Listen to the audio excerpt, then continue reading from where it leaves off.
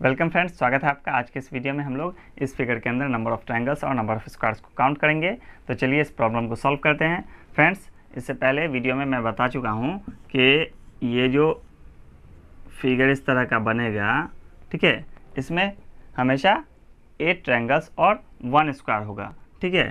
One two three four five six और ये seven eight तो टोटल इसमें एट ट्रायंगल्स और वन स्क्वायर होता है।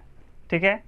तो ये दोनों मिला के हो गया सिक्सटीन ट्रायंगल्स और टू स्क्वायर्स। ठीक है? ये आप लोग समझ गए होंगे। अब आते हैं इस बड़े वाले फिगर में। इस बड़े वाले फिगर में देखिए कि ये जो ट्रायंगल है बड़ा वाला, ठीक है? इसमें आप देखिए कि वन, टू टू ट्रायंगल्स हो गए और ये बड़ा वाला एक और। तो टोटल थ्री ट्रैंगल्स हो गए। उसी तरह इधर भी थ्री ट्रैंगल्स होंगे। तो पहले कितना हो गया था? हमारा सिक्सटीन था और प्लस कर दीजिए सिक्स ठीक है? तो अब हो गया ट्वेंटी टू उसके बाद आप देखेंगे कि ये एक ट्रायंगल बन रहा है। ठीक है? उसी तरह ये एक ट्रायंगल बन रहा है। तो टोटल टू ट्रायंगल्स और हो गए। तो ये हो गया प्लस टू यानी ट्वेंटी फोर। अब देखें, ये ट्रायंगल बन रहा है एक ये दो, उसी तरह नीचे भी बनेगा, ये तीन और ये चार।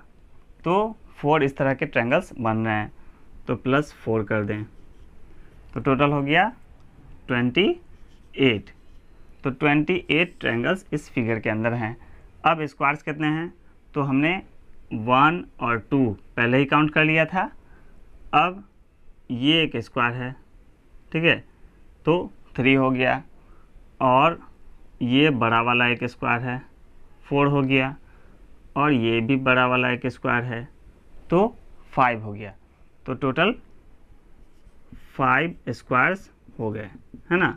तो इस फिगर के अंदर टोटल 28 ट्रायंगल्स और फाइव स्क्वायर्स हैं। आई होप कि ये वीडियो आपको पसंद आया होगा। अगर ये वीडियो अच्छा लगा तो वीडियो को लाइक कर दें।